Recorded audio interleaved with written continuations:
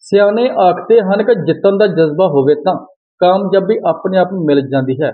ਅਜਿਹੀ ਮਿਸਾਲ ਬਟਾਲਾ ਦੇ ਭਾਰਤੀ ਫੌਜ ਵਿੱਚੋਂ ਸੇਵਾ ਮੁਕਤ ਹੋਏ 65 ਸਾਲਾ ਨੌਜਵਾਨ ਸੂਬੇਦਾਰ ਹਰਭਜਨ ਸਿੰਘ ਬਾਜਵਾ ਨੇ ਥਾਈਲੈਂਡ ਵਿੱਚ ਹੋਈਆਂ ਓਪਨ ਮਾਸਟਰਜ਼ ਗੇਮ ਵਿੱਚ ਭਾਰਤ ਦੀ ਨੁਮਾਇੰਦਗੀ ਕਰਦਿਆਂ ਦੌੜਾਂ ਵਿੱਚ ਦੋ ਸੋਨੇ ਦੇ ਤਗਮੇ ਜਿੱਤ ਕੇ ਭਾਰਤ ਦਾ ਨਾਮ ਰੋਸ਼ਨ ਕੀਤਾ ਹੈ। ਦੋ ਸੋਨੇ ਦੇ ਮੈਡਲ ਜੇਤੂ ਅਥਲੀਟ ਹਰਭਜਨ ਸਿੰਘ ਬਾਜਵਾ ਦਾ ਬਟਾਲਾ ਪੁੱਜਣ ਤੇ ਵੱਖ-ਵੱਖ ਥਾਵਾਂ ਤੇ ਢੋਲ ਧਮੱਕਿਆਂ ਤੇ ਹਾਰਾਂ ਨਾਲ ਭਰਵਾਂ ਸਵਾਗਤ ਕੀਤਾ ਗਿਆ।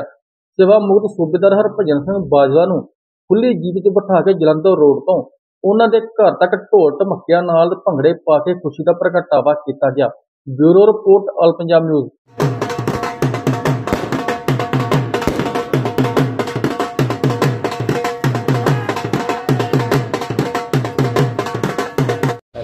ਜੀ ਇਹ ਸਾਡੀਆਂ ਮਤਲਬ ਥਰਡ ਥਾਈਲੈਂਡ ਤੇਰਾ ਮੋਬਾਈਲ ਕਿੱਥੇ ਆ ਮਾਸਟਰ ਗੇਮਸ ਹੋਈਆਂ ਵਾ ਬੈਂਕਾਕ ਦੇ ਵਿੱਚ ਅੱਛਾ ਜੀ ਔਰ ਇਹ ਥਰਡ ਫਰਵਰੀ ਤੋਂ ਲੈ ਕੇ 12 ਫਰਵਰੀ ਤੱਕ ਸੀਗੀਆਂ ਜਿਹਦੇ ਵਿੱਚ ਐਥਲੈਟਿਕਸ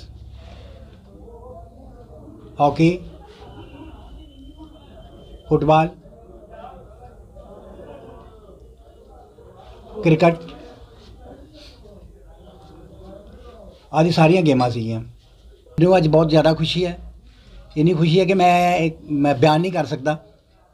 ਕਿਉਂਕਿ ਪਹਿਲੇ ਵੀ ਮੈਂ ਤੇ ਗੇਮਸ ਕਰਦਾ ਰਿਹਾ ਵੈਸੇ ਪਾਰਟਿਸਿਪੇਟਸ ਕਰਦਾ ਰਿਹਾ ਫਸਟ ਵੀ ਆਉਂਦਾ ਰਿਹਾ। ਬਟ ਜਿਹੜੀ ਅੱਜ ਮੈਂ ਫਸਟ ਆ ਕੇ, ਅੱਜ 골ਡ ਮੈਡਲ ਜਿੱਤ ਕੇ ਜਿਹੜੀ ਮੈਨੂੰ ਖੁਸ਼ੀ ਪ੍ਰਾਪਤ ਹੋਈ ਹੈ, ਇਹਦੇ ਨਾਲ ਦੀ ਖੁਸ਼ੀ ਮੈਨੂੰ ਅਜੇ ਤੱਕ ਨਹੀਂ ਮਿਲੀ ਪਹਿਲੇ ਕਦੇ ਵੀ। ਮੈਂ ਜੀ ਦੋ 골ਡ ਮੈਡਲ ਮੈਨੂੰ ਮਿਲੇ ਆ ਤੇ ਬਲਜਿੰਦਰ ਸਿੰਘ ਨੂੰ ਦੋ ਬ੍ਰੌਂਜ਼ ਮੈਡਲ ਮਿਲੇ ਆ ਤੇ ਆਪਣੇ ਜਗਦੀਸ਼ ਰਾਮ ਨੂੰ ਇੱਕ ਸਿਲਵਰ ਮੈਡਲ ਮਿਲਿਆ। ਇਹ ਮੇਰੇ ਸਰਦਾਰ ਭੈਣ ਸੇ ਬਾਜਵਾ ਜੀ ਜਿਹੜੇ ਥਾਈਲੈਂਡ ਤੋਂ ਦੋ 골ਡ ਮੈਡਲ ਜਿੱਤ ਕੇ ਆਏ ਮੇਰੇ ਜੀਜਾ ਜੀ ਨੇ।